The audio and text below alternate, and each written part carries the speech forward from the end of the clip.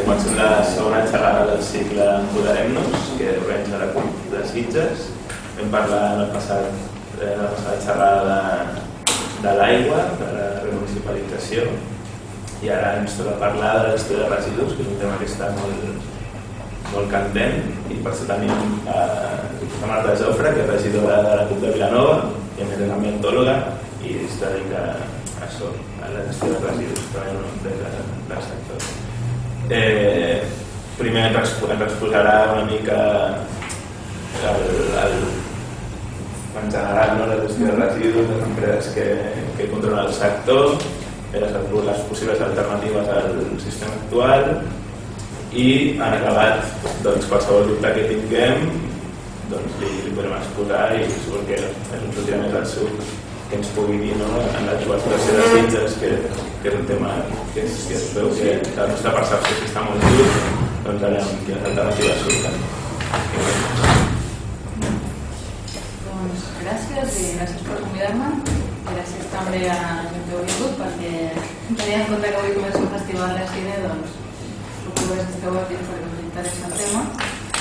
Eh, com comentava en Joan i jo, treballo en aquest àmbit de la gestió de residus, però no, no com no treballo en una empresa que gestiona els residus, sinó que l'empresa on jo treballo assessorem a ajuntaments i a altres administracions en com millorar la gestió de residus i també en temes de fiscalitat dels residus. Intentaré no fer-ho massa llarg, tot i que el tema aquest dona per perquè té, té moltes derivades, podríem estar aquí parlant hores i hores d'aquest tema. Hem fet cursos, a vegades nosaltres tècnics d'ajuntaments que han durat diversos dies, vull dir que tampoc vull entrar molt en els temes tècnics, sinó el que m'agradaria és, és eh, exposar una mica alguns conceptes sobre el tema, conceptes de gestió de residus, explicar una, una mica la part tècnica però per sobre, la part econòmica també, quan ens costa la gestió de residus, com ho paguem, qui ho paga, i després també, per acabar, la part més interessant que es pot fer des, de, des dels ajuntaments per millorar aquesta gestió de residus. Començo pels, pels conceptes. Jo veia, bueno, m'agradaria abans de començar la xerrada a fer una, un parell de preguntes per saber també per situar-nos en la gent que heu vingut. La primera pregunta que us vull fer és eh, si a casa vostra eh, recicleu, no, si separeu a residus. Escatxers. Sí? Escatxers, sí. I sabeu quan, quan costa, quan us costa la, quan és la taxa de brossa vostra aquí de Sitges? Quan esteu pagant actualment? 35 euros a l'any. Sí. Aquest any ens ha baixat el 50% i paguem 35 euros anuals. Vale, vale. Vale, doncs ja... 75 con descuento una llibre Vale. Vale, vale, perquè moltes vegades eh, això és, un tema que no que desconeixem, o sigui, sabem quan paguem de telèfon, sabem quan paguem de llum, de gas, però molts cops quan li preguntes a la gent com paga de brossa no sap i en canvi es queixen quan pugen la brossa. Això ja entrarem després. Eh, per entrar una mica en el tema de residus, una mica per contextualitzar, jo sóc ambientòloga, vinc de, de, del món aquest de la gestió ambiental i dins del que és la gestió ambiental un dels temes més importants a nivell sobretot de, de que són les competències dels municipis és aquest, és el de la gestió dels residus perquè és un tema que no només és una competència obligatòria dels ajuntaments recollir els residus sinó que també és un tema que té un impacte bastant gran en el, en el que és el, el medi no? Penseu que el tema de la gestió de residus és responsable d'una part molt important de les emissions que fem de gasos d'efecte hivernacle i per tant també és un, un dels àmbits on podem incidir més a l'hora de mitigar aquests, aquestes emissions i per tant també el canvi climàtic. Però també volia transmetre una mica el concepte de, dels residus com a paradigma del que és la societat de consum actual. No? El tema del residu, diguéssim, si busquem la definició de residu, segons l'agència de residus, és un material que genera com a conseqüència no desitjada de qualsevol activitat humana, el generador o posseïdor del qual se n'ha després o se'n vol desprendre. Llavors, és un, com un efecte no desitjat de la societat de consum. No? Consumim una gran quantitat de productes eh, i després generem uns residus que, és, que s'han de tractar d'alguna manera. No? Si estiguéssim en un context més eh, ecològic, diguéssim, no? més a, si, si mirem com funcionen els ecosistemes naturals, normalment els residus es reciclen a un ritme que permet doncs, que aquest cicle doncs vagi, no? tu vas extraient recursos i els residus a, eh, es, es reciclen i, i no hi ha aquest excedent de residus que ara. No? El problema és quan tu consumeixes amb més velocitat de la que, de, de la que el sistema pot, pot absorbir. No? I aquest és el, per això dic que és paradigmàtic el tema dels residus perquè és un exemple de com el nostre sistema no és sostenible. No? perquè estem consumint una gran quantitat de, de materials, una gran quantitat de recursos, aigua i energia, que després els malbaratem, perquè en el fons eh, els residus són recursos que estan en circulació i que si no els eh, aprofitem el que fem és el que estem malbaratant. Llavors, eh, això també té una component de justícia ambiental, que també volia introduir aquest tema de justícia ambiental, perquè quan, per exemple, ens canviem el mòbil cada, cada any, cada dos anys, no? al mòbil hi ha una gran quantitat de materials, materials terres rares, materials eh, molt valuosos que han costat molt d'extreure i no només han costat d'extreure sinó que també han generat una sèrie d'impactes socials en altres països i, i llavors té un contingut també social important, diguéssim, no? recursos a nivell del que són els residus municipals, que és el que és la competència dels ajuntaments, els residus municipals, el que és, entra dintre la definició de residus municipals, són els residus que generen o bé a les, a les cases, en els domicilis, o bé en activitats econòmiques, tipus restaurants, botigues, etc., i que es poden assimilar a municipals. També fins i tot els que es generen en indústries però que són assimilables a municipals. I aquests residus són aproximadament un 35% del total de residus que genera no, a l'economia. Hi ha una altra part que són residus industrials, 35%, un 25% més o menys són residus de la construcció i després hi ha un 5% que són residus de, de la depuració de l'aigua. O sigui que els residus municipals són una part important de tots els residus que, que es generen. I els, els ajuntaments tenen l'obligació, dintre de les seves competències bàsiques, no només de recollir residus i de fer la neteja viària, sinó que els municipis de més de 5.000 habitants també tenen l'obligació o la competència de tractar aquests residus. Vol dir que no només són responsables de recollir els residus del carrer, sinó també de després tractar-los i, i aprofitar-los, si es pot. Com funciona o com ha anat evolucionant el model de gestió de residus així breument fins, fins a l'actualitat? Si ens remuntem uns anys enrere, tampoc no cal remuntar-se molt, abans dels anys 70, eh, teníem sistemes de recollida de residus molt simples, bàsicament recollida bossa, no? es recollia el bolseo, no? en castellà, i era una recollida que realment ara li podríem dir recollida porta a porta, perquè no hi havia contenidors al carrer, la recollida es feia molts cops, la feia la brigada o la feia, es feia d'una manera molt, molt senzilla i es llançava tot amb un abocador o es cremava. Així és com funcionava fins, fins no fa molt. Però a partir dels anys 70 i 80 a, a Anglaterra i a altres països va començar a, a privatitzar el tema. No? Es va a, començar a, a fer tot més complexa, a posar contenidors al carrer, a comprar camions compactadors, camions molt, molt més, eh, amb molta més tecnologia i es van començar a introduir sistemes de tractament que no fossin l'abocament o l'abocament de residus. Llavors, el que hem vist és que des de llavors fins ara tenim un sistema que està molt més tecnificat i és molt més complex i a més és un sistema que a la majoria dels casos està privatitzat, és a dir, que fa una empresa externa a l'Ajuntament.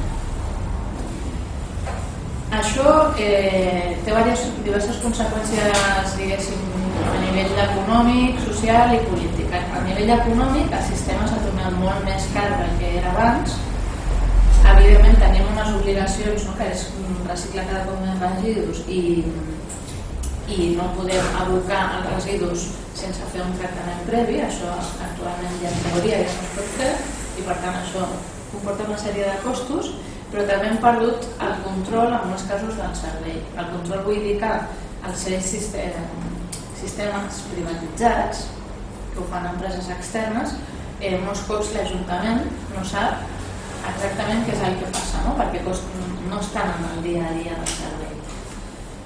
Llavors, d'una banda, hem perdut eh, aquest control, ha augmentat el cost i ens hem desempoderat, com si diguéssim, no? d'aquest àmbit, que abans teníem una mica més, més controlat. A nivell de, perquè tingueu una idea, a nivell de costos, eh, la gestió de residus és una de les despeses, despeses més grans que té un ajuntament. Si traiem el que són despeses de personal, que són despeses fixes, per tota la gent que treballa directament per l'Ajuntament, de les contractes i serveis que dona l'Ajuntament, la recollida de residus i neteja viària eh, és la més important, més encara que la policia o que els serveis socials o biblioteques o altres serveis. Normalment representa entre, així de mitjana entre un 7 i un 10% de tot el pressupost d'un ajuntament, que és molt. El que ens trobem també a nivell així europeu i també doncs, que ens afecta aquí a nivell català és que tenim tota una sèrie d'objectius de reciclatge i d'aprofitament de residus que ens afecten, vull dir que ens obliguen cada cop a, a obtenir millors resultats, però tenim un sistema, que és el sistema de recollida de contenidors, que és el que al final s'ha acabat pràcticament estanyant, que està estancat. El que hem vist, si mirem les dades a nivell de Catalunya en els últims anys, veieu que els primers anys, quan vam començar a implantar, doncs, recollíem tot, tot junt, no? Vam començar primer, vam posar el contenidor de vidre, després vam posar el de paper, després el d'envasos, últimament hem posat el d'orgànica. Cada cop hem recollit durant un temps més residus per reciclar, però ha arribat un punt, i durant els últims anys això es pot veure, que ens hem estancat amb un 30-35% de residus que es destinen al reciclatge. A part també el que ens trobem és que aquest mercat, diguéssim, de la gestió de residus s'ha anat concentrant en, en poquetes empreses. Bàsicament hi ha quatre empreses a Catalunya que controlen la major part del sector, que són entre aquestes quatre empreses que us diré ara, controlen pràcticament el 70% dels contractes de recollida i de tractament. Una és, és Urbacer, que pertany al grup ACS, és, un, era un, és una empresa que fins fa poc eh, el president de l'empresa era Florentino Pérez.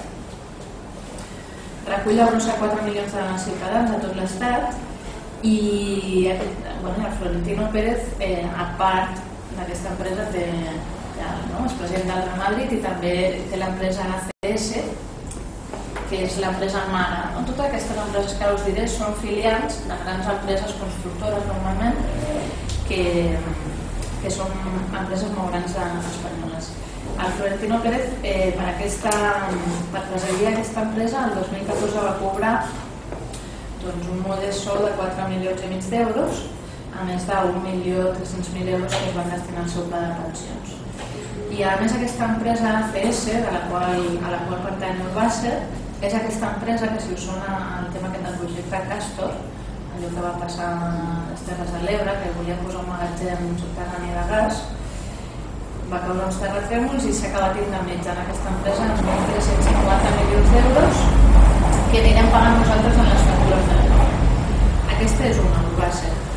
Una altra empresa que, una altra d'aquestes quatre empreses és Fomento de Construccions i Contrates, que el màxim accionista és el Carlos Slim, que és aquest multimilionari mexicà que segurament també ja coneixeu, que és el tercer home més ric del món, i un altre accionista, eh, després del Carlos Slim, és la, la que té més accions, és la Esther Koplovitz, les germanes Koplovitz. I fins al 2013 també hi havia en aquesta empresa eh, un tal eh, José Mayor Oreja, potser us fan Mayor Oreja, perquè era el germà aquest home, del Jaime Mayor Oreja, de l'exministre el 2013 el van apartar perquè estava imputat pel cas Bárcenas i ara ja no és. Un altre és eh, CESPA, que diria que és la que vosaltres teniu aquí a a, Sitges, que pertany al grup més gran constructor ferrovial.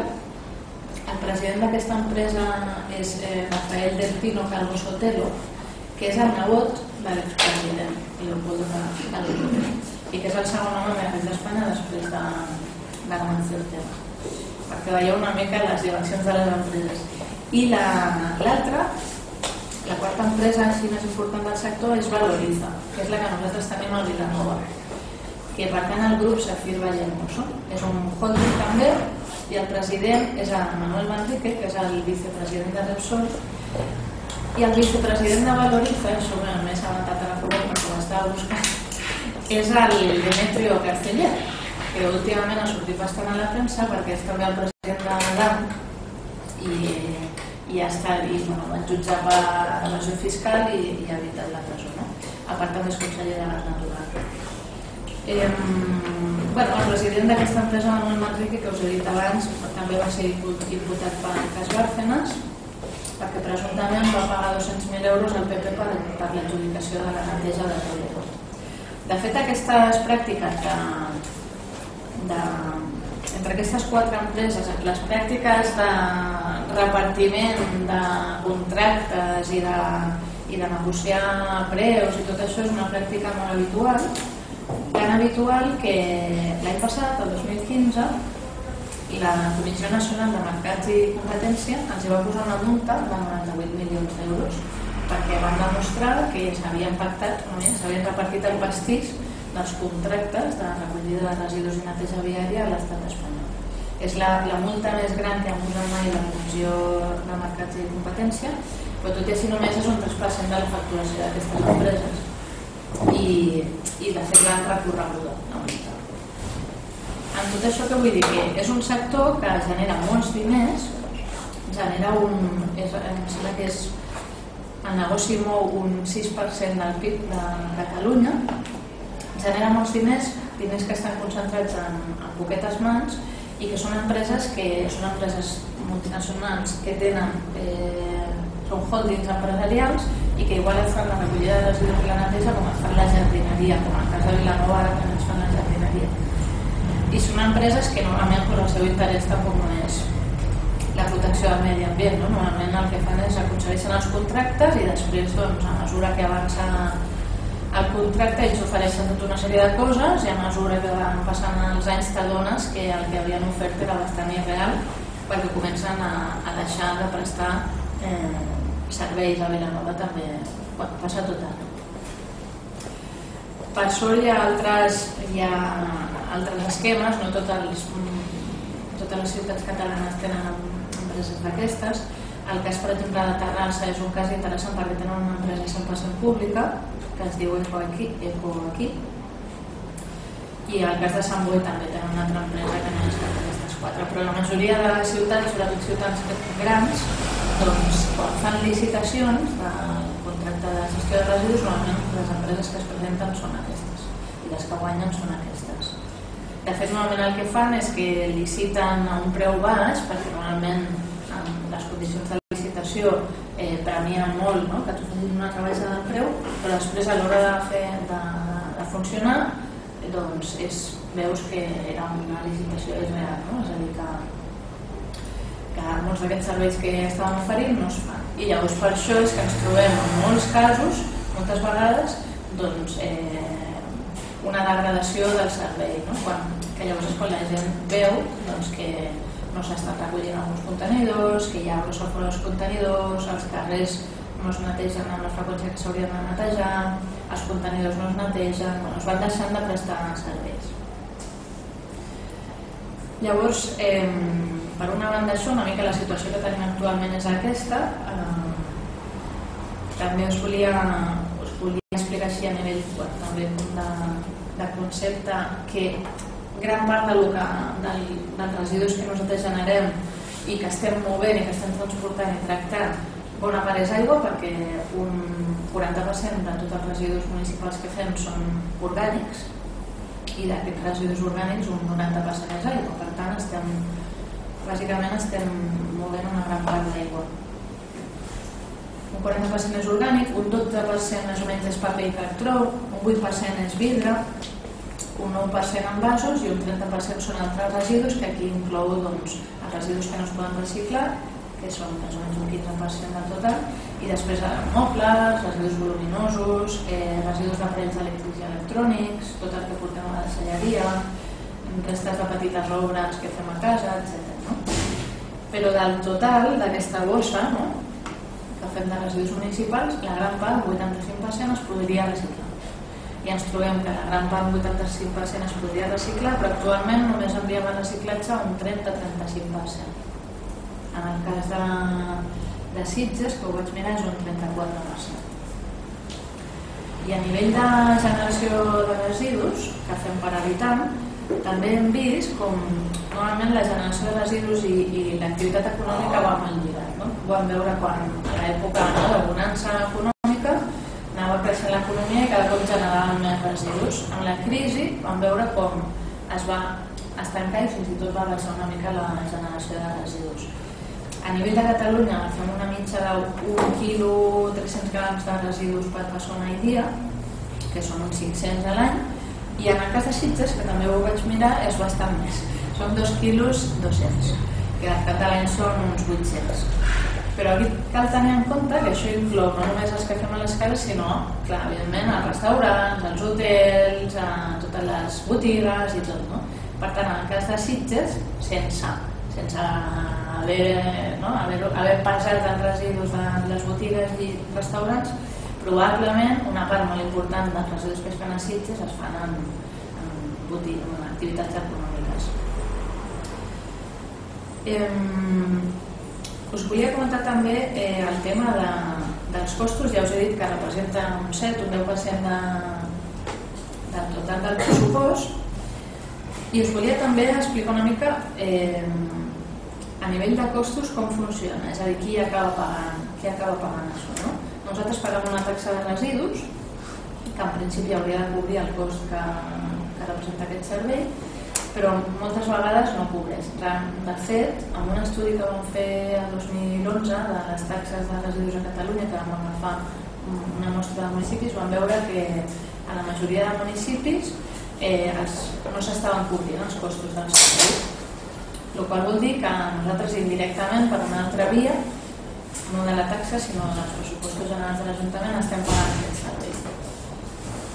Per què, per què és interessant que ho paguem el que costa? No? Perquè si no paguem el que costa a través de la taxa vol dir que directament estem subvencionant doncs, els generadors de residus eh, aquest servei. No? La cosa no, no ens interessa. Després us explico un altre concepte al voltant d'això. En definitiva, una mica la situació és aquesta, la situació que teniu aquí a Sitges és molt semblant a la que tenen molts municipis i ciutats de Catalunya, eh, uns resultats així bastant estancats, eh, no hi ha com molt de marge per millorar perquè per molt que fem campanyes i, i per molt que canviem els contenidors, els hàbits de la gent normalment costa de canviar i llavors si nosaltres volem avançar cap a un sistema una mica més eh, més eh, reciclador, si diguéssim, hem de fer altres coses. Però no només això, sinó que, si us recordeu, fa temps, quan al principi es començava a parlar dels temes dels residus, eh, es parlava molt de, de les tres R's, eh, reduir, reutilitzar i reciclar. I ara les dues primeres s'han bueno, perdut, diguéssim. No s'han perdut, però no es posa èmfasi no? en, aquestes, en aquestes dues. Llavors jo, a nivell municipal, el que sí que crec que s'hauria de treballar molt més és aquest tema de la reducció de residus. I hi ha moltes coses per fer en aquest àmbit de la reducció de residus. Eh, començant, per exemple, pel tema del malbaratament alimentari. Perquè de tots aquests residus que, que fem de, orgànics, bona part són restes de menjar que ja es podrien haver aprofitat. De fet, de tot el menjar que es produeix a Catalunya, un estudi que es va fer fa poc que va fer la Universitat Autònoma, una tercera part s'acaba llançant de tot el menjar que es, que es, que, que, que es cultiva, que, que arriba a les botigues. I bona part d'aquest menjar que es llença, es llença a les cases. És a dir, una part es llença a la botiga, una part al distribuïdor, una altra part són mermes, però una part important, gairebé la meitat, es llença a les cases. Per tant, en aquest àmbit, hi ha molta feina per fer encara. Hi ha alguns ajuntaments que han començat a, a treballar amb aquest tema, sobretot arran de la crisi també, perquè eh, hi ha un component també molt social amb el tema del malbaratament alimentari, que són recursos que es podien aprofitar doncs, per gent que realment ho necessita. I llavors és tan fàcil o tan fàcil i tan difícil com agafar i canalitzar aquests excedents o que es podien aprofitar cap a entitats que treballen en col·lectius no? eh, com necessiten o, o cap a altres, altres maneres. No? Eh, aquest és un àmbit, però hi ha moltes més coses a fer en tema de prevenció de residus i jo crec que és una de les coses més oblidades a nivell de gestió de residus en els ajuntaments, perquè normalment els ajuntaments el que fan és que tenen un contracte, liciten un contracte i un cop ja està licitat doncs ja en tema de residus poca cosa més fan. En tema de reutilització, que és la segona R, i, i reparació es podria fer moltes més coses també, perquè hi ha molts residus que arriben a les deixalleries que es podrien que podrien tenir una segona vida, hi ha molts productes que si fomentessin més la cultura de la reparació no, no acabarien a l'abocador, etc etc. Vull dir que en aquest també hi ha molta cosa a fer. I amb el tema de la recollida, volia parlar una mica de, del tema de la, de la recollida porta a porta i us explico perquè us parlaré de la recollida porta a porta. La recollida porta a porta eh, bàsicament consisteix eh, en treure els contenidors del carrer i en recollir els residus casa per casa o edifici per edifici o botiga per botiga, restaurant per restaurant.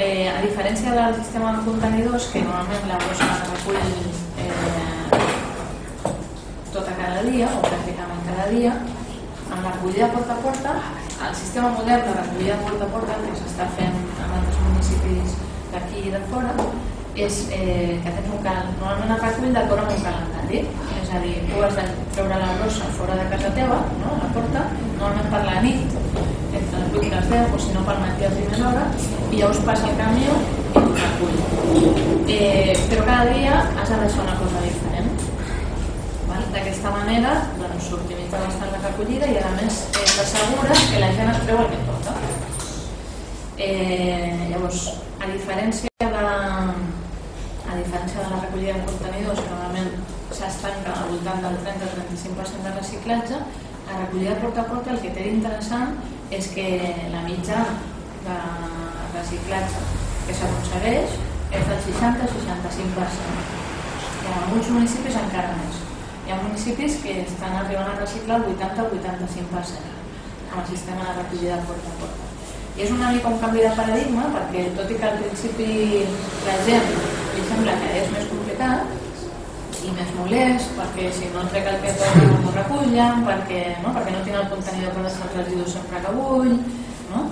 eh, a la pràctica, a la llarga eh, a part d'alguna gent doncs, que realment no té cap ganes de participar en el sistema la majoria de la gent s'acaba implicant i acaba separant els residus Llavors, l'interessant de la recollida porta a porta és això, que és un sistema que fa més fàcil fer-ho bé o fer-ho malament. No? Mentre que la recollida de contenidors, si tu no separes, ningú se n'adonarà, tu pagaràs el mateix i tothom.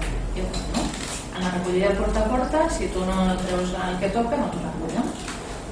I normalment, eh, clar, justament per això, els residus que recullen són de més qualitat. No només més qualitat, sinó també més quantitat de residus per reciclar. Després, si us interessa més el tema, us explico més en profunditat, però ho explico perquè, perquè a Catalunya, bueno, fora de Catalunya i d'Espanya, hi ha, a Europa és un sistema que està molt estès. A Catalunya va començar el 2004, em sembla, diu de Canyes, Tona i Tiana, i, i ara hi ha de l'ordre de 120 municipis que fan recollida porta a porta. S'ha de dir que la majoria són municipis petits, o sigui, no hi ha encara grans ciutats catalanes que hagin començat la recollida porta a porta. Ara em sembla que de cara al 2017 Vic em sembla que volia implantar i Barcelona potser en alguns barris farà alguna prova, però, però encara no hi ha molts municipis grans. Però fora de Catalunya sí que hi ha grans ciutats com com Turí, com Berlín, París i moltes ciutats del centre d'Europa eh, fan recollida porta a porta. Llavors la gràcia del porta a porta és aquesta, doncs, que et permet eh, progressar molt més del que, del que podies fer amb els contenidors. Si a més a més de porta a porta eh, posem un sistema en el qual la gent pagui en funció dels residus que treu, llavors els resultats encara milloren. De fet la gràcia del porta a porta és que et permet fer això. Amb un sistema de contenidors tu no saps què fa cadascú ni saps eh, si recicla o no recicla en el porta a porta, com que tu saps de qui són els residus no? i quan treuen, pots arribar a cobrar a la gent en funció del que genera i del que recicla. I això és el que es diu un sistema de pagament per generació de residus, que hi ha alguns municipis ja que ho tenen de, de Catalunya, fora de Catalunya també hi ha molts, fora de l'estat vull dir, eh, perquè ho tenim també en ment que fora de Catalunya, diguéssim, a l'estat espanyol el panorama encara és més desolador que aquí. Eh? Vull dir, aquí és desolador, però si surts fora de Catalunya és eh, desastre, desastre. És a dir, molts llocs encara no tenen recollida orgànica, no tenen deixalleries, no? tota aquesta feina que nosaltres hem anat fent en els últims 20 anys, val que estem estancats, però clar, depèn amb qui ens comparem, estem bastant bé, no? Però això que deia, el pagament per generació. El primer que ho va implantar aquí a Catalunya va ser Torrelles de Llobregat, que va ser el 2003 o 2004, i ho van fer amb bosses. Amb bosses. Tu havies de comprar les bosses per poder llançar la, el rebuig, la bossa que no recicla. I quantes més bosses eh, feia servir, doncs més que sortia. No diguéssim que en lloc de pagar la taxa, la taxa estava el preu de la bossa. Al cap d'un temps això ho van treure perquè bueno, per temes polítics doncs, es va crear molta controvèrsia i ho van treure, però després hi va haver més municipis, Argentona el 2010, Miravet el 2011, Rasquera també allà a l'Ebre, i a fora de Catalunya, a les Illes Balears també hi ha diversos municipis que ho fan i al País Basc Usurbil també ho fan des del 2014. Usurbil és un d'aquests pobles que us deia que té un 85% de, de reciclatge perquè fan porta a porta i també fan aquest sistema de pagament per generació. Eh, llavors, a nivell de costos, una de les, una de les coses que sempre la gent... Eh, el prejudici que sempre hi ha sobre el porta a porta és que és un sistema molt car perquè realment eh, recollir residus a la porta de cadascú és més car que no pas recollir contenidors intuïtivament. Però si tens en compte que cada dia només reculls una fracció i que reculls més residus per reciclar que no pas per anar a l'abocador, al final t'acaba sortint el mateix. De fet, nosaltres vam fer un, vam fer un estudi a l'empresa on jo treballo per l'agència de residus ens van demanar que comparéssim amb dades reals els costos de recollida porta a porta i recollida en contenidors en diferents municipis de Catalunya. I vam agafar eh, uns 80 municipis, 40 porta a porta i 40 contenidors, i aleatòriament i llavors els vam demanar dades i vam tenir en compte no només el que costa la recollida, segons el contracte, la deixalleria, totes aquestes despeses, sinó també el que costava el tractament, no? perquè si tu tens eh, el residu, el rebuig, per exemple, l'has de portar a una planta de tractament, l'orgànica l'has de portar a una planta de compostatge, els envasos a una planta de selecció d'envasos perquè es pugui reciclar, hi ha tota una sèrie de costos de tractament. I després també ens preguntàvem pels ingressos de vendre materials, ingressos de... Bueno, hi ha diferents ingressos que ja seria complicat explicar-ho, però eh, el sistema de gestió de residus també genera uns ingressos. Quan més recicles, més ingressos tens. I llavors vam agafar i vam, i vam fer la comparativa. I a nivell de mitjà, més o menys ens sortia igual. Ens sortia, el cas de, del porta a porta, ens sortia 68 euros per habitant i any, 68,4 i en el cas del contenidor 69,4 o sigui, era una mica més però la diferència tampoc era significativa o sigui, la conclusió al cap i a la fi era que, que el cost és molt equiparable és a dir, que el, el, el, el mite aquest no? que el porta a porta és més car sí que és més car a l'hora de recollir és veritat que hi havia una diferència a l'hora de recollir però després com que t'estalviaves diners a l'hora de fer el tractament perquè tenies més residus per reciclar eh, i tenies més ingressos, al final quedava el mateix. Que de fet hi ha, un, hi ha un factor a tenir en compte que és important en el cas de Catalunya, que és diferent en aquest cas de fora d'Espanya, és que, que per cada residu, per cada tona de residus que tu portes a l'abocador, has de pagar 19 euros. I per cada tona que portes a incinerar has de pagar uns 9 euros. Aquest residu, aquests diners, eh, l'agència de residus els posa en un fons i aquests diners te'ls tornen en funció dels teus resultats. Si tu fas millor la recollida selectiva i llavors tens més orgànica, per exemple, et tornen més diners. És un sistema que vol penalitzar l'abocament i incentivar el reciclatge. Llavors, amb aquest sistema, els municipis que ho fan bé, sobretot els municipis porta a porta, ens surt més a compte. Llavors, a nivell de costos, eh, el tema aquest dels, mm, de la comparativa porta a porta de contenidors doncs, no és tan així.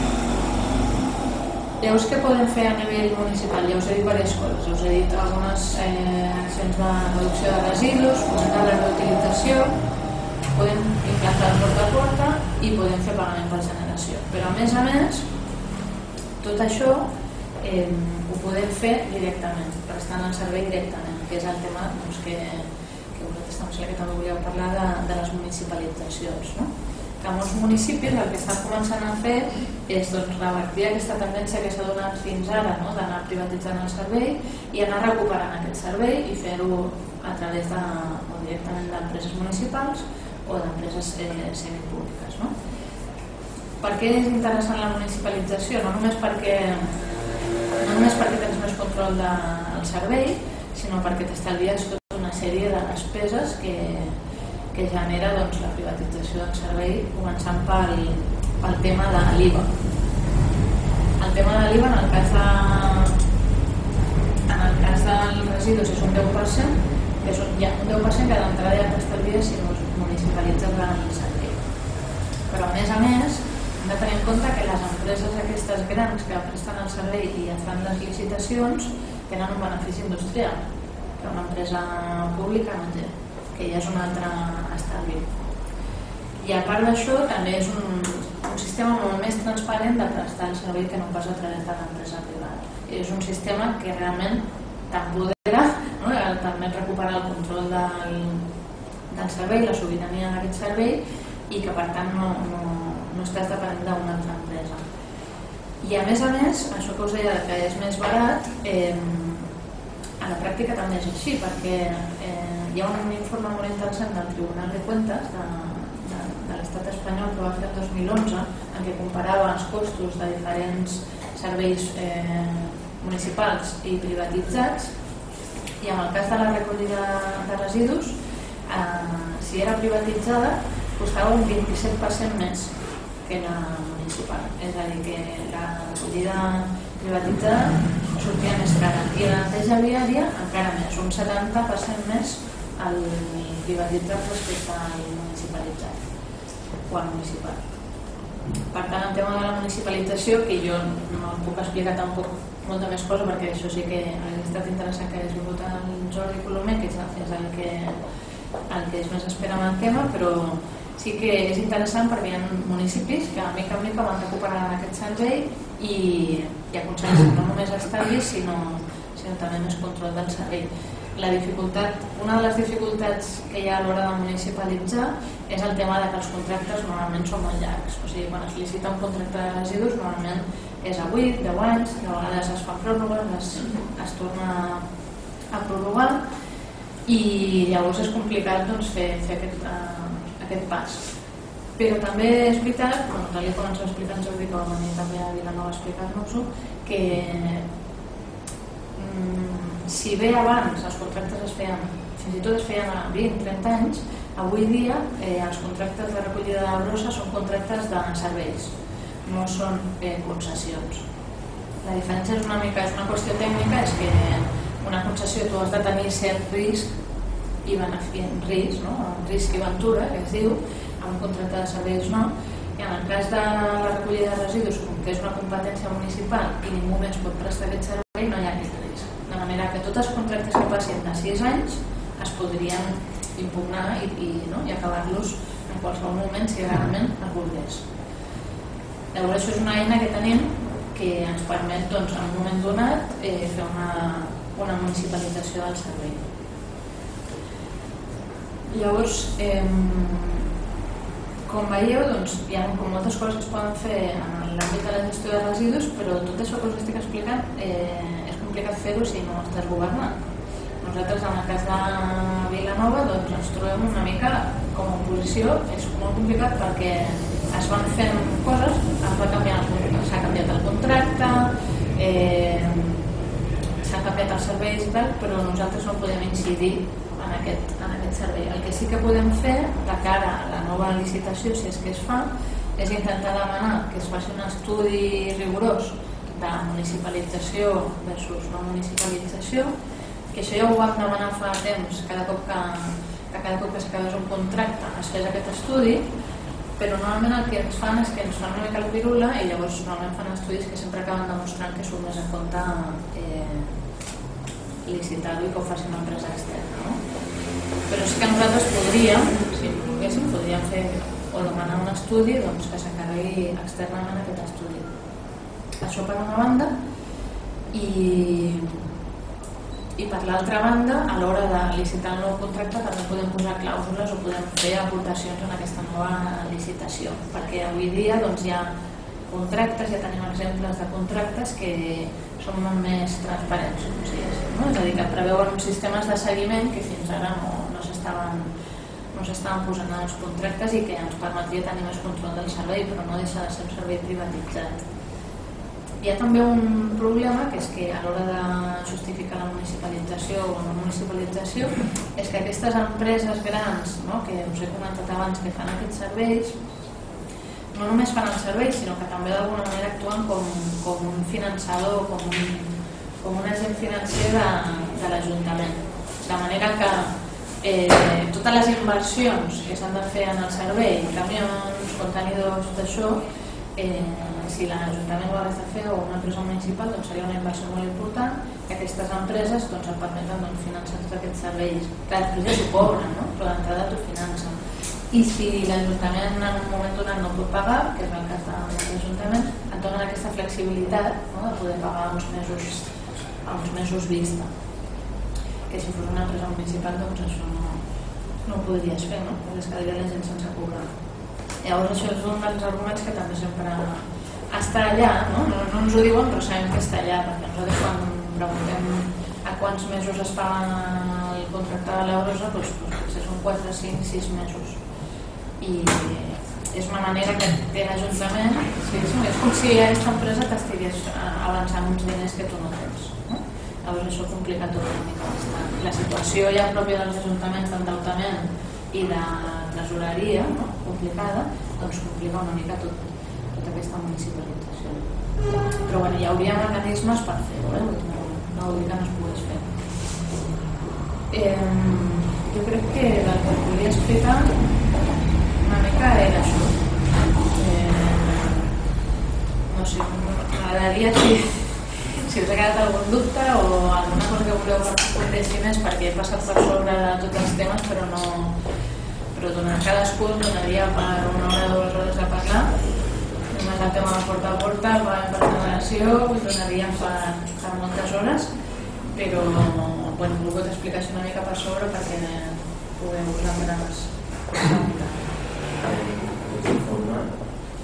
que vosaltres demaneu i des del govern no, no, no volen fer-ho o fan informes que donen d'aquesta visió favorable el, la recollida per contenidors eh, si, si hi ha alguna manera de, de fer l'informe sense mm, sense passar pel, pel, pel govern municipal o ha de ser, és a dir, pot ser pots en un contracte no, si, si hi ha una altra manera de fer aquest Sí, sí, clar, sí, sí Mm, de fet, aquest informe que et dic, normalment el fan els serveis interns de l'Ajuntament, no un contracte externament, no? però jo crec que seria més interessant, per exemple, presentar una moció i demanar que es faci un estudi extern, no?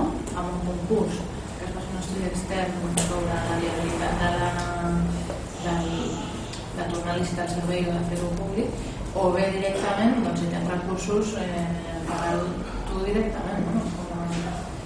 com a grup o com a oposició, però és, és complicat. Però sí que, com a mínim, que no siguin els serveis interns de l'Ajuntament ja seria un gran què, perquè l'últim que vaig veure de, de porta a porta mm, viabilitat de porta a porta a Vilanova eh, doncs no, no era gens rigorós no? perquè això que us deia doncs, de les freqüències de recollida vull dir, cada dia recollien tot cada dia ens sortia molt car i llavors deien que era inviable que el centre no es podia fer bueno, que no, era, era un estudi molt poc favorable però sí, jo crec que es podria, es podria forçar doncs, que com a mínim fos un estudi extern més objectiu Mm. Ah, Una, una qüestió, ja que estem a Sitges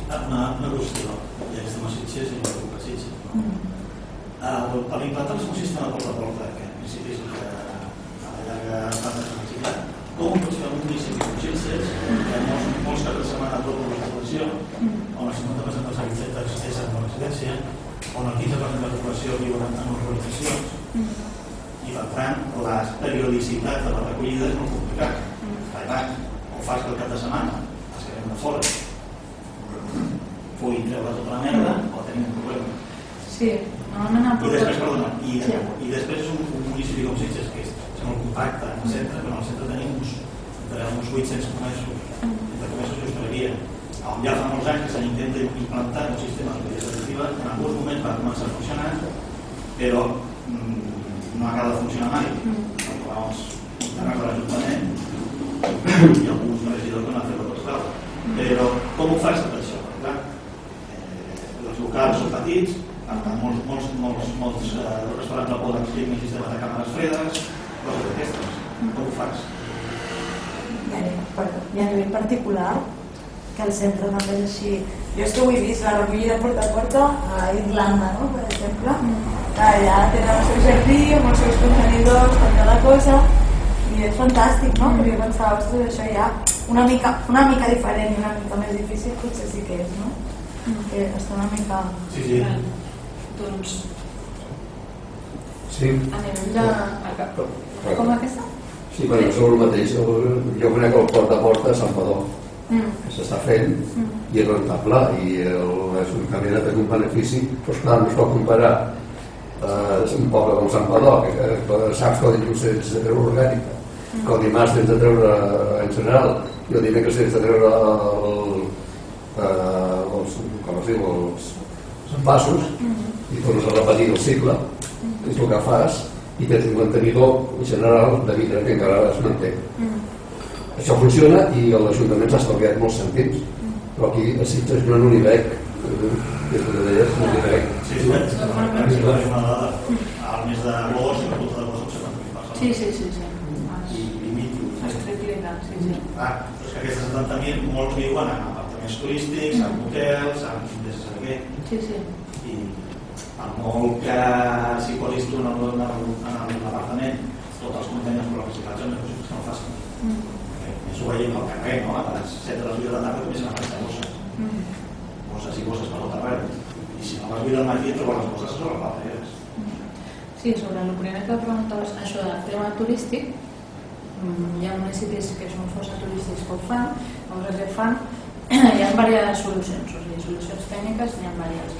Una és eh, ajustar la, la recollida que tu fas, de manera que al cap de setmana recollis gairebé totes les fraccions. De manera que, per exemple, la gent quan marxa cap de setmana doncs puguin deixar rebots, l'orgànica, el que fa més quantitat, no? Llavors la freqüència de recollida fins i tot la pots reforçar a l'estiu i pots fer més freqüència de recollida. Una altra solució que també en alguns llocs de Catalunya s'ha format, gairebé tots els municipis porta a porta de Catalunya tenen una àrea o, o més d'emergència. És una àrea de contenidors, que és una de que tenim ara de contenidors, però que n'hi ha potser una o dos al municipi. De manera que la gent que no pot adaptar-se en aquest horari, o que, no sé, ara marxo fora i no estaré per treure no, l'orgànica, no? Doncs vaig i ho deixo en allà. Llavors són com unes eh, això àrees d'emergència, es diuen, no? Llavors allà tens per totes les fraccions. No ho deixes davant de casa teva, sinó que t'has de desplaçar fins allà. Perquè ja és molt diferent que desplaçar-te al contenidor perquè normalment són llocs que no estan al centre, no? I, i serveixen per això, per, per, per aquests casos. I en el cas de Tot i així, eh, dona, dona problemes, perquè després, eh, bueno, si, si normalment els contenidors ja no donen problemes, perquè normalment ja són un focus, no? que la gent deixa tot allà, doncs en aquests casos encara més, perquè la gent que no vol participar doncs va allà i ho llença tot a qualsevol manera. No?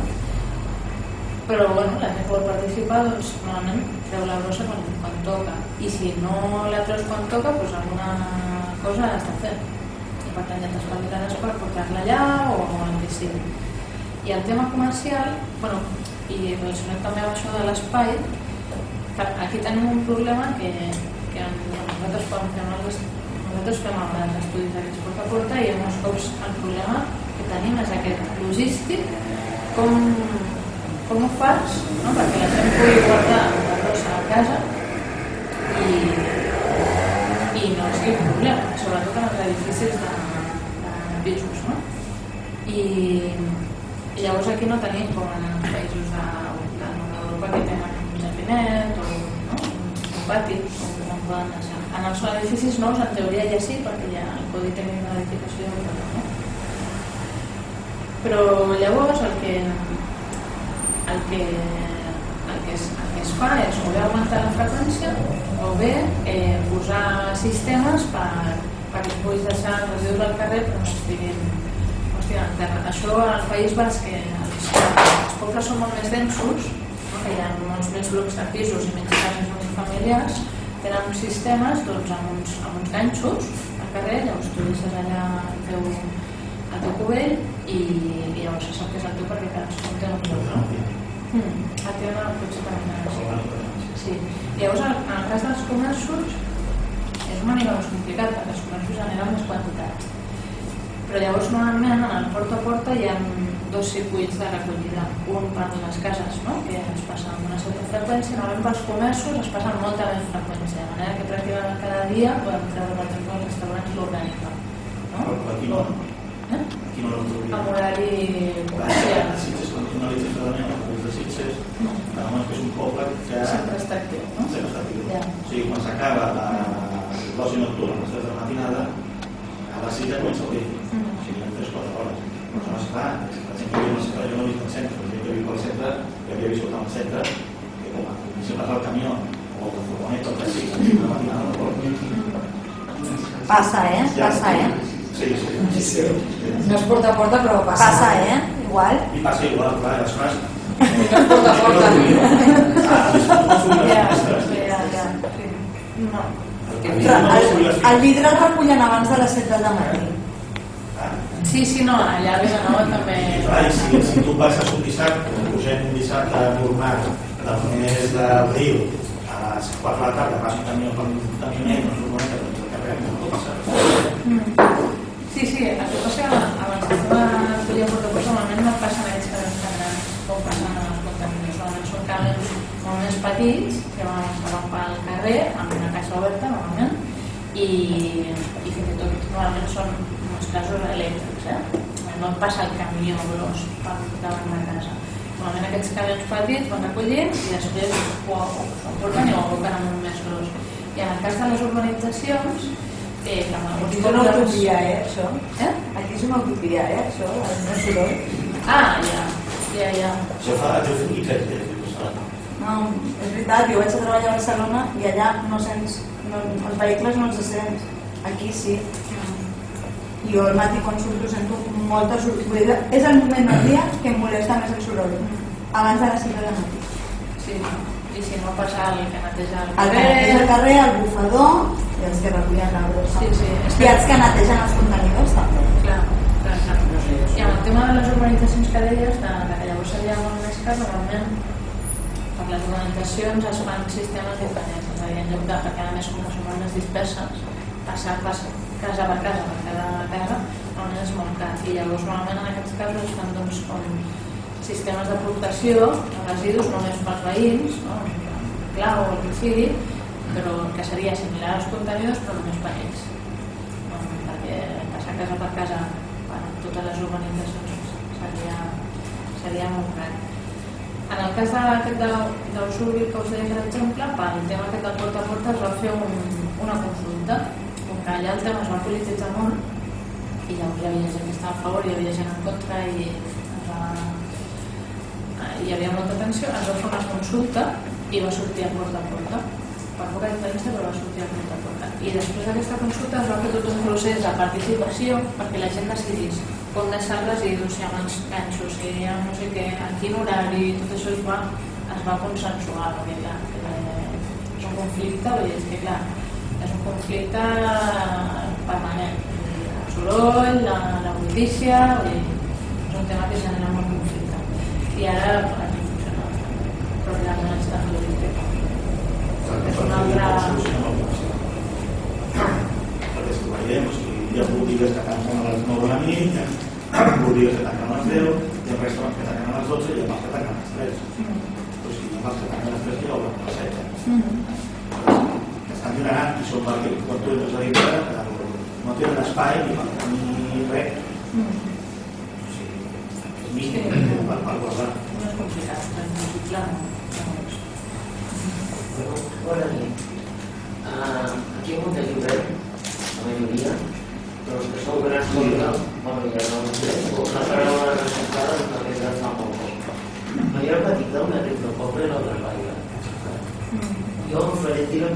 Li portem unes deixalles i no anem bé. Jo que cadascú, abans, amb aquesta per portar-la. I no sabíem que era reciclat, només tiràvem de la brossa orgànica. Anem al revés. Si tu tens una botiga i fas molta brossa, ho recull al casó, te'l tens al repaire i dones basta. Perquè, perquè estem contenidors tota la vida i els monuments els contenidors. Jo era petita no hi havia papereres al poble. Ara tenim contenidors a tot arreu. I cap a la butxaca. I quan el Florentino Pérez i tot això. Eh, Llavors, en el seu moment, se'ns va votar de dir-los que tindrien que pagar una taxa de treball, no cap. Per favor, sí, sí, però que tot és, és que és tot fatal. Si abans no sabíem què reciclar, bueno, per fer de no havia el mateix número de residus tampoc, ara generarem molts més residus, segur, segur, Sí, sí, segur. però, però si cadascú se'n cuidés dels seus i donéssim pasta més d'alimentar amb Florentino Pérez i pagar-li, potser no diria, bueno, si les botigues, pels restaurants, si donéssim diners, és que anem al revés, ens han venut una moto, ens han venut una moto que és fatal, vol dir reciclar, cadascú conscient del que té, però si fa residus que li paguin, perquè alguns poses diners a la butxaca, si no caldrà una mica la recollida de botes. Bueno, jo quan, jo quan eh, tinc aquesta hòstia, aquesta conversa també amb amics i gent i em diuen que no volen reciclar per no donar negoci a ningú però jo sempre els dit que el negoci ens hi dones quan no necessites és a dir, Però és que és que és una contradicció que estem fent. Perquè jo tinc que pagar aquest senyor que té una botiga i fa res- fan residus. Tinc, ui, tots els ciutadans veiem, em molesta que estigui al carrer. Per què li tinc pagar el seu? I crec que ens estan enganyant. No, és que cadascú hauria de pagar el que, el que fa. No, no, no, això comentava abans, que el lògic seria que el just seria que cadascú pagués en funció del que fa i que si tu fas més esforç en sembrar els residus, en fer menys residus tal, paguessis menys i no estiguessis subvencionant a ningú altre, no? I, i això que comentava abans és que jo sempre ho dic perquè la, eh, perquè la gent em diu no, jo no reciclo perquè no vull donar negoci a ningú, no? Però és que eh, el no reciclar surt molt més car per tothom, eh?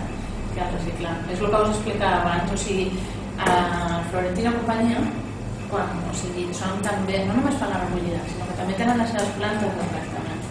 Normalment les plantes de tractament de brossa barrejada, de rebuig, no? nosaltres li diem que són residus barrejats, són plantes enormes, amb molta inversió que fan aquestes grans empreses, i que ells, quan més residus li portis, més negoci fan.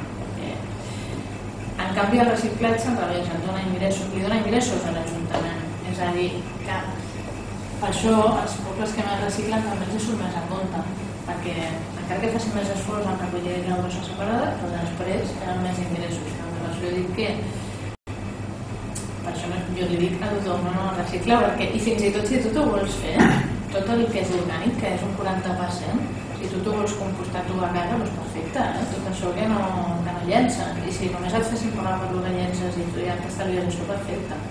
Que això no ho he explicat, però se m'ha passat, és el tema de l'autocompostatge, no? que abans era una cosa supercomuna, que la gent tenia a casa seva els residus orgànics i, so- i o donava els porcs, o donava les gallines, o, o feia compost, ara s'ha perdut, però ara un altre cop s'està començant a, a, a fomentar, no només en els pobles i en les cases amb jardí, sinó també fins i tot a dintre de les ciutats amb compostadors de, de, de, de ciutat, diguéssim.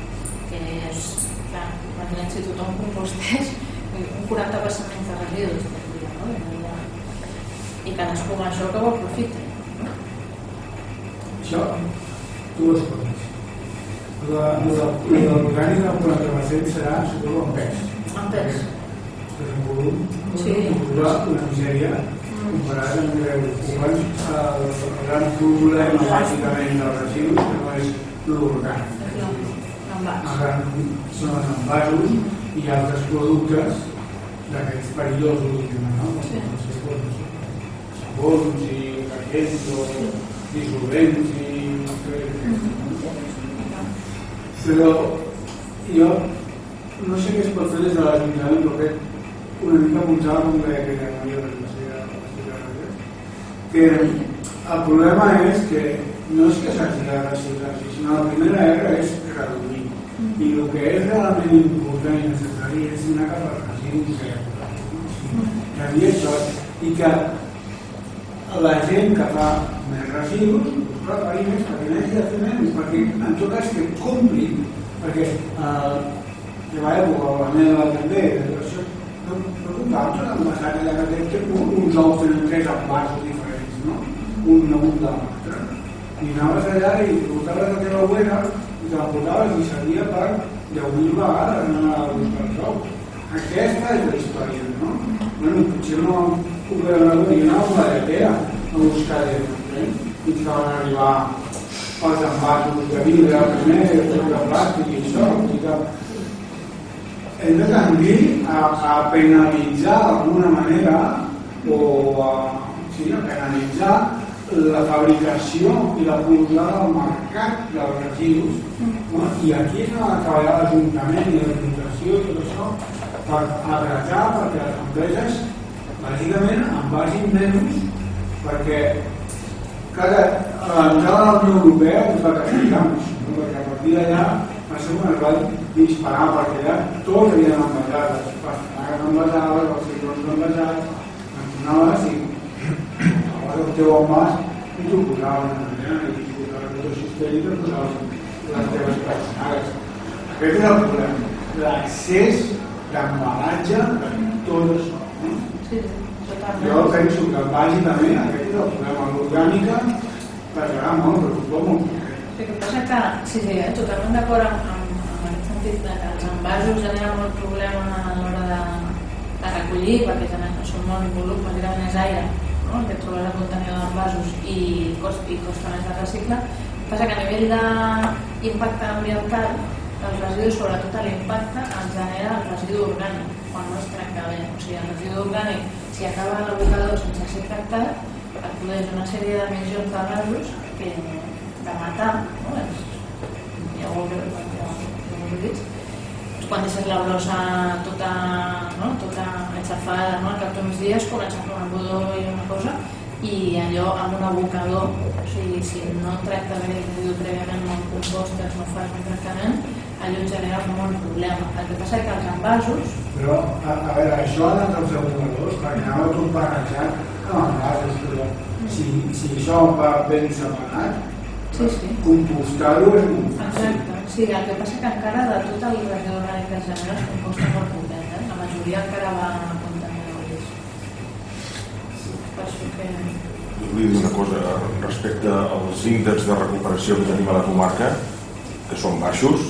Sí. Eh, jo penso que, segons com t'ho miris, són alts, són alts, perquè en, en definitiva el que fem nosaltres és una, una separació voluntària. O sigui, les persones que ho fem tenim uns, uns estímuls, que és no donar negoci a Florentino Pérez, per, per exemple, però també tenim altres estímuls, que és que no hi hagi allò que va passar a la Bunda del Garraf, que es va perdre la vall de Joan per sempre, per sempre més. La vall de Joan doncs ho tenim ben a prop, la teníem ben a prop, era una vall extraordinària, la vam perdre, aquí tenim i no només això, sinó que es va contaminar les aigües subterrànies que mai més seran pures aquelles aigües. O sigui que eh, l'estímul que representa per la gent de Sitges i, de, i del Garraf en general haver de separar és que és ja una, un càrrec de consciència no fer-ho.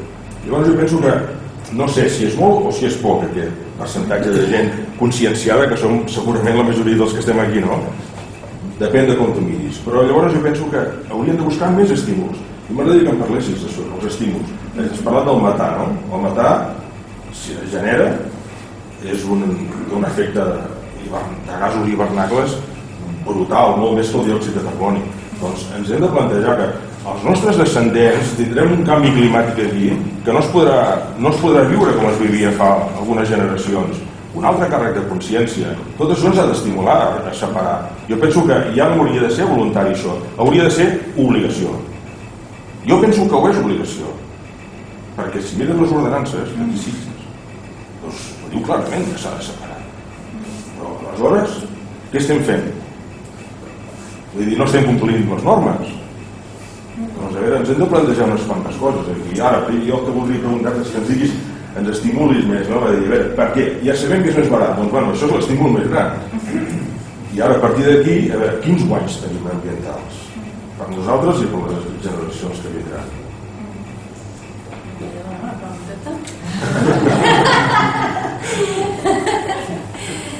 No, clar, és que he començat parlant del, del tema del, dels residus com a recursos, però el que no el que no he posat en context, perquè clar, és que cada tema donaria per molt, no? És el context aquest de la crisi ecològica en què ens trobem, en què un dels...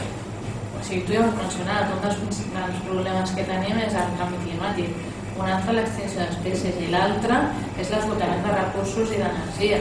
O sigui, estem en un context en què ja hem passat no? el pic del petroli, cada cop és més difícil extreure energia i els materials els estem consumint a una velocitat mm, que, que devorem el planeta no? i així com a nivell de, de dada eh, il·lustrativa perquè veiem la nivell de sostenibilitat no? que, que té aquest ritme de consum si tots els ciutadans del món eh, tinguessin el nostre nivell de consum en un món no n'hi hauria prou necessitaríem tres, tres planetes sempre podria ser pitjor perquè en cas de Noruega, i això també ho he apuntat, serien 4. Si fossin tots com als Estats Units, entre 5 i 7. I si fossin com Kuwait, 12. És a dir, que tenim un nivell de consum desfasat, no? Però no només això, sinó que estem consumint uns materials, bueno, com comentava abans, els materials que hi ha al mòbil, però és que hi ha molts materials que ja els estem esgotant, o sigui, que ja arribaran les generacions eh, següents i els materials que estaran a dintre dels abocadors. Hi ha llocs en què ja comencen a obrir abocadors i a treure materials per recuperar. Als Estats Units ho fan, no? es diu mineria d'abocador. Com que s'han adonat que hi ha tants recursos als abocadors, agafen, obren, tornen a buidar l'abocador, processen els materials i troben tot el que poden. I això jo crec que en el futur aquí també ens trobarem, perquè estem llançant una quantitat de recursos a l'abocador brutal, no?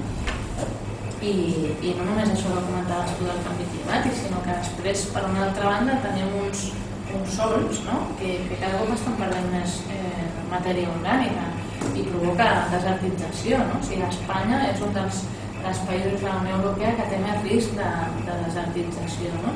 Si aquesta matèria orgànica l'únic que fem és extreure, però no la tornem a posar en sol, no? en forma de compost o, de, o del que sigui, cada cop anem quedant uns terres més, més pobres i més, més fràgils. No? Però, clar, però arguments n'hi ha, ha moltíssims. Clar, tot el que són envasos i plàstics, al final el que estem consumint és petroli, que, que ja se'ns està acabant, no? Però jo crec que després també hi ha un component social important, que és el que us comentava abans, que és que els, eh, o sigui, el que consumim no és, per exemple, només paper, no? O sigui, hi ha una cosa que es diu la petjada, petjada ecològica dels productes, que és que aquest paper, potser aquí hi ha no sé quants grams no, de paper, però hi ha molta energia introduïda aquí dintre i molta aigua necessària per fer aquest paper. O sigui, no només llancem recursos, sinó que també llancem energia i llancem aigua que no tenim. O sigui, de raons n'hi ha... Però a nivell, clar, tot això que expliques a la gent, no? I de la gent que està una mica conscienciada i que li entra, no? però al final el que, el que s'ha demostrat és que si tu no poses un incentiu econòmic perquè la gent recicli, eh, no. I el fet de fer pagar pels residus que tu generes i quan més residus generes, més per paga, i, penso que una altra motivació és que tu sentis que allò que estàs fent realment serveix. ja. Això penso que ha fet molt més mal a vegades Sí. que el tema econòmic. Perquè hi ha tota una generació que vam aprendre a reciclar Mm. i que en alguns moments hem dubtat de si allò que estàvem Sí. fent servia d'alguna cosa o no, no? Sí, sí. I això penso que ha fet molt de mal. Sí, jo ho entenc perquè no s'explica, no s'explica, no? Tu et diuen... O sigui, la relació Ajuntament, sempre, Ajuntament, Ciutadans, amb aquest tema sempre és molt i el compromís de, de, de, de l'administració Mm. eh, paral·lel al Sí. compromís personal no? Sí. de la gent també. Totalment, sí, sí. És que normalment només... Això ha fet molt mal i penso que Sí. ha fet que molta gent es desencanti i que s'ha creat moltes de llegendes, urbanes de que els residus s'acaben barrejant, que no dic que puntualment no pugui, no ho facin Bueno, algunes que si ho empreses. veus, és que si ho veus fer, No dic que no passi, eh? No dic que no hagi passat mai, el que no és una pràctica generalitzada. Això també... Eh, I la llegenda urbana aquesta, no?, de que es barregen els residus, de que no serveix per res, de que això eh, estem donant diners a algú que es beneficia dels teus residus, però sobretot és el tema que explica, no?, als ajuntaments, expliquen a la gent per què s'ha de reciclar, eh, no, és com més una ordre que no pas intentar fer entendre la problemàtica que genera això i el cost que genera això per l'Ajuntament, perquè és que, és el que us deia, aquí en el cas de Sitges, sí, com està aquí, són com uns 4 milions d'euros a l'any o alguna així, que costa el contracte. Dos. Sí? És que ho he mirat fins a dos mesos a Barcelona. Dos i mig? De 4 i mig a dos i mig? Vol, vol dir que la neteja viària no es Ah, potser això incluïa la neteja viària. Vale, vale, vale. fa. Quan ho fem, el que fet és de ser la neteja servei. Vale, vale. És que en el cas de l'Ilanó són 100 milions, més 2 milions de tractament. Són quasi tres, tres vegades. Sí, sí, sí. tres vegades, sí, sí. Sí, sí. Perquè si es té l'impacte de tota la part, de la part comercial, Clar, clar. que és brutal. És brutal. Sí, I sí. això no, no s'ha treballat. Bueno, és que en el cas comercial, clar, això també us volia comentar, se m'ha oblidat. En el cas comercial, normalment què passa? Fins i tot en els pobles que no són tan, com, tan turístics com les Sitges, eh? Normalment la taxa, quan es calcula la taxa, no, no es fa una comparativa de quan generen els domicilis i quan generen els comerços i que llavors cadascú pagui una li toca. Normalment sempre hi ha una subvenció creuada eh, de la, de, dels particulars cap als comerços. No? Però és que en el cas de Sitges estic segura que clar, si tu agafes les quantitats, o sigui, encara haurien de pagar més els comerços. No? no només això, sinó que els comerços que no participin, que no participin, que no facin reciclatge, que no separin, l'Ajuntament no té obligació de recollir. O sigui, això la llei catalana ho preveu, no? En altres llocs no és així, però aquí sí. De manera que tu poses un sistema no? que incentivi el reciclatge i si no participen que s'ho facin ells, que s'ho paguin ells, que segur que els costarà molt més que el que els costa fer l'Ajuntament. No? Però jo crec que això és que és una cosa que s'ha de batallar perquè quan es fan les ordenances fiscals, que ara és quan s'han de fer, normalment s'ha de fer un estudi de costos i dir què ens costa tot el servei, eh, què costa per als comerços, què costa per als domicilis i com ho repartim aquest cost. Perquè tu puguis traspassar aquest cost als comerços, perquè si no, al final el que fa és que la gent està subvencionant aquests serveis. Sí, sí, sí, no es paga de Segur. Aquest moment estàs a la euros de mitja del, i no, no. Sí, jo he vist que eren 60 la recollida i 40 de tractament, pot ser? Sí, algo així. Eh, el que paguen els comerços no, no cobreix el seu... No, no, segur. Ah, Sol ser hi ha així. restaurants que no, no només general, que tenen tots nosaltres junts. Clar, clar. Sí, sí. Sí, sí, a més eh, aquí he vist que només paguen en funció del tipus de, de comerç i de la superfície. I la superfície. Però clar, hi ha molts més factors. Que... El que passa és que eh, com a Sitges hi ha unes entitats que se'n va a la comercial, que no sabia, Mm. però molts, molts, eh, molts eh, comerços no estan Mm. és molt complicat, Ja. no estic d'acord. Ja. I aleshores a l'Ajuntament no acaba de destinar els recursos a, a fer el control. Ja. Que des d'aquesta festa Sí, sí. ja, ja comença a fer. Clar, clar, és el que us deia abans que no es controla. La baixa, paga sous de merda Sí. i després el tot treball. Sí, sí. Això ho ha fet el Torre. No, no, ho fan totes a tot arreu, eh? És superhabitual. Yo te quería preguntar, eh, eh, ¿la comunidad europea tiene algún tipo de campaña o subvención si, si un municipio cambia el sistema ahora? ¿O tiene que buscar cada uno? No, no, no. Cada, uno se busca la vida. Lo que sí que tiene Unión Europea son unas directivas, ¿no? Que te dice, pues, eh, tienes que avanzar hacia aquí, por ejemplo, para el 2020, en teoría, todos los países tendrían que estar al 50% de reciclaje para el 2020 y luego para el 2030 creo que ya están hablando del 70%, pero luego como es una competencia municipal, pues no, lo que sí que hay es esto que os comentaba antes de la Agencia de Residuos de Cataluña, que este dinero que se va recaudando cuando llevan los residuos al vertedero y a la incineradora, luego se devuelve, es como una especie de subvención, pero que en realidad lo has pagado tú. Y entonces, por cada tonelada que tú recoges de orgánica o que recoges de residuos especiales, una sellería o así, te dan un dinero. Es como si fuera una subvención, pero no es una subvención. Es un tiene previsto, he visto una noticia de, de- los productos de plástico que son de uso de uso, para una regulación de, de, de productos. Si la comunidad tiene previsto o, se tiene en los municipios.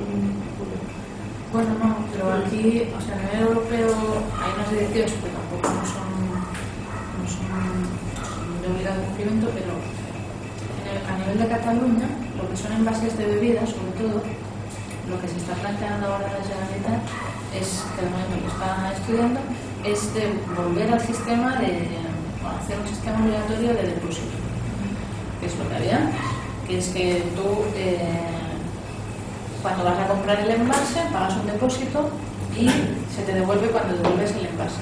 Es para fomentar la reutilización y el reciclaje. Porque tanto puede ser para un envase de un solo uso, para fomentar el reciclaje, como para un envase reutilizado, para que se pueda rellenar. Y eso es- lo están estudiando ahora. Eh, pero claro, es que el sector de los envases es muy complicado porque es un sector que tiene mucho poder. Todos los envasadores y fabricantes de envases.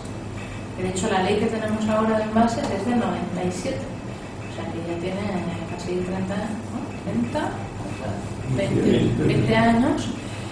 No se ha cambiado y se hizo a medida de los envasadores. Eh, y ahora cómo funciona es que tú cuando compras un envase tienes el punto verde este que representa que el envasador ha pagado un dinero, unos céntimos, para que esto se pueda reciclar. Y este dinero eh, representa que el ayuntamiento lo ingresa, pero cubre una parte muy pequeña de lo que realmente cuesta el reciclaje. Entonces, y, es un si- sistema que no incentiva para nada el reciclaje, o sea, es mucho más efectivo el sistema de depósito. Y en otros países se hace, pero aquí por la presión de, sobre todo por la presión de estos envasadores, no, no se ha hecho, porque para ellos es mucho más, ahora mismo, mucho más barato eh, hacer envases de usar y tirar y pagarle a los ayuntamientos un poquito para que lo reciclen, que no tener un sistema de depósito y todo esto. Pero es, el gran- es uno de los grandes problemas. Y con las bolsas de plástico pasa un poco lo mismo, que es que en algún momento se había planteado de poner un impuesto sobre las bolsas de plástico de un solo uso, igual que se ha hecho en otros países, Irlanda o en otros países que, que ha sido muy efectivo. Pero aquí el tema del impuesto, pues también otra vez, los distribuidores, las tiendas, grandes superficies no querían, entonces al final se ha hecho un sistema voluntario, que muchos se han adherido y han empezado a cobrar las bolsas, cada uno lo que ha querido.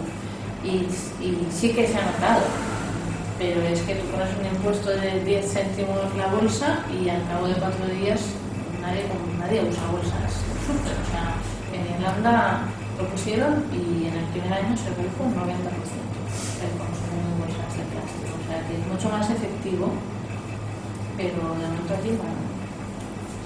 Y una- solo una pregunta.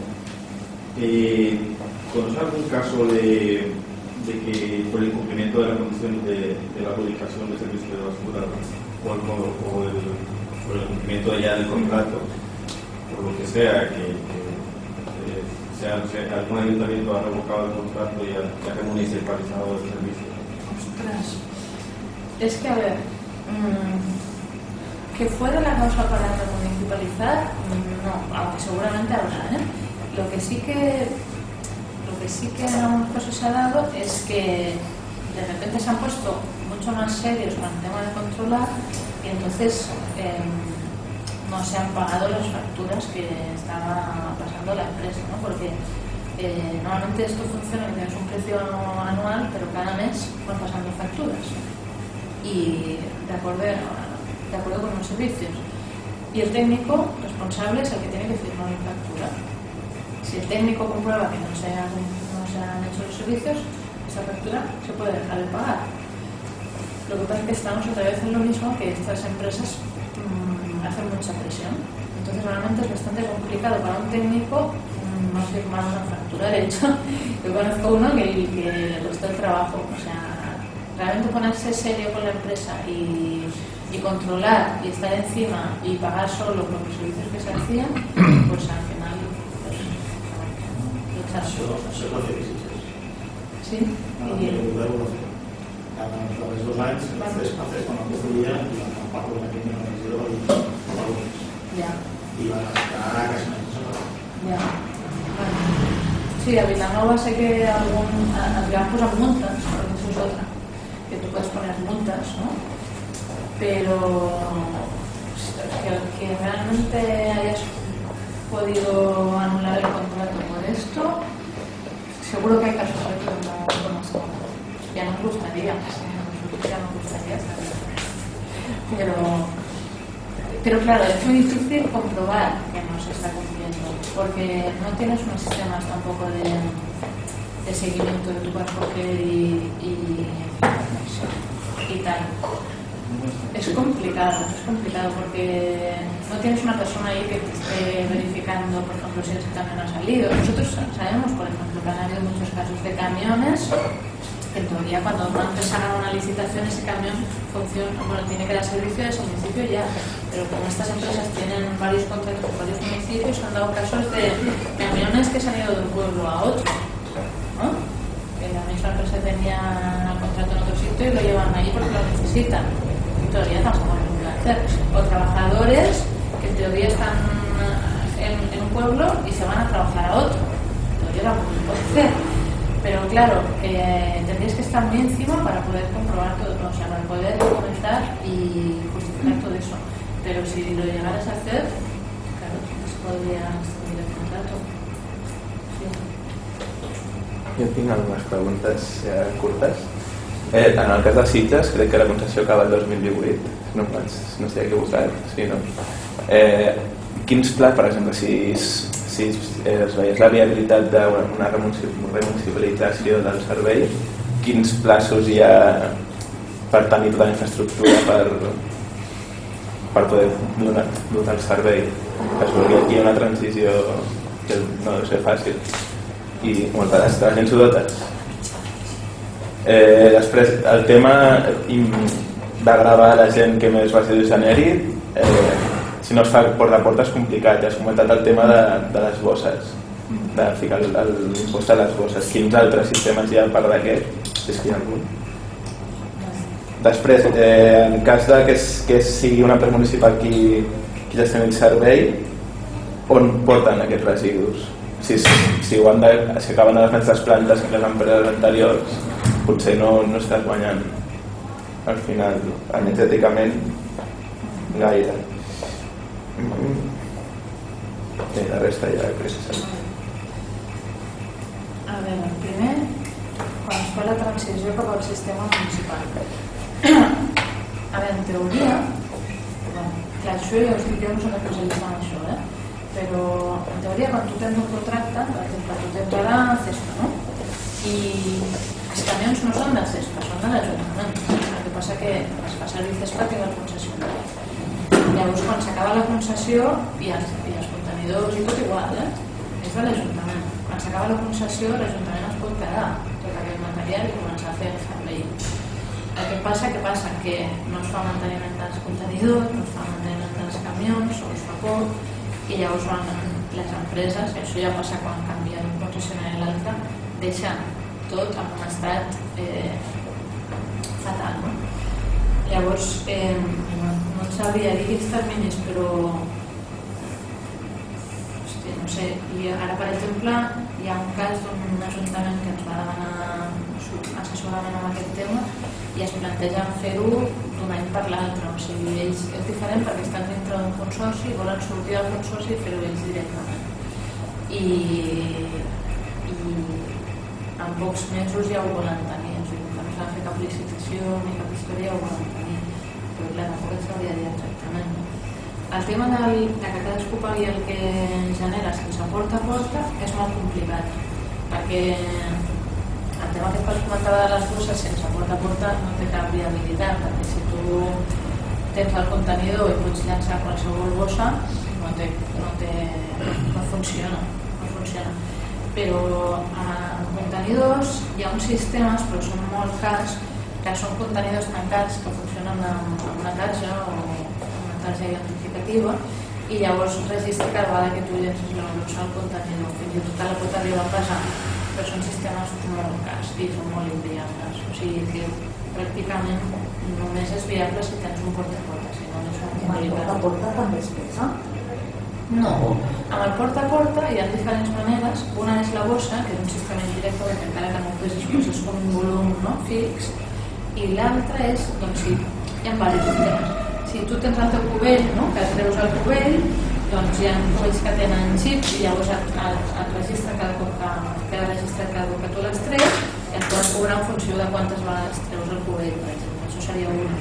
Una altra seria que tu tinguessis diferents mides per triar la cubell, no? Això sobretot amb els comerços es fa segons el volum que tu tens contractat pagues més o pagues menys. No? Tu tens un cubell així doncs, de 120 litres, de 240, el que sigui, i quan més gran doncs més pagues. I, i hi ha més sistemes, però bàsicament els que més s'estan utilitzant a Catalunya és el de la bossa i després a Usurbil el del cubell amb, amb xip. I després el que deies de les plantes, que si tu fes el servei municipal el tema del tractament és el mateix, perquè les plantes de tractament eh, són públiques la majoria. El que passa que passa mateix que el servei de recollida, tenen una concessió. Hi ha diferents esquemes. El de la, el rebuig, o sigui que són els ecopars i aquestes plantes grosses de tractament de residus no? que fan tota una selecció i així, normalment aquestes estan en concessió. I llavors tu vas a la mateixa planta, dir, és, és el mateix. En el cas d'altres fraccions, per exemple, l'orgànica, la planta em sembla que és de la mancomunitat, és una planta pública de la mancomunitat panadera de Ranfo. I al, al final les plantes són les que hi ha, eh? Vull dir, no, no hi ha plantes públiques i plantes privades, totes són públiques, el que passa que algunes les operen eh, en concessió, però el, el tractament seria el mateix que ara. Seria el mateix, el que passa que si tu tinguessis eh, menys rebull, doncs pagaries menys, clar, perquè el tractament es paga per tona vas a l'Ecopark, doncs et cobra, per exemple, 70 euros per tona. No sé bastant estàndard. I et costaria el mateix, el que portaries menys quantitats, segurament. I el tema de l'orgànica, doncs, no és el mateix. I llavors, normalment els altres, el vidre, paper i envasos, els envasos normalment van a una planta de selecció, també tu pagues per tonelada i el vidre i el paper normalment ja són més petites empreses que ho, ho gestionen.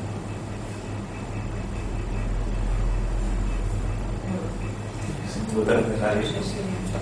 Ens donem les gràcies a ella per venir i comentar-vos que el mes que ve seguirem amb aquestes xerrades que ens donen una mica d'idees de contractar programàtiques de sitges. I farem una TV també dels principals que actualment que és els filos turístics amb l'Observatori d'Antropologia i Crítica Urbana.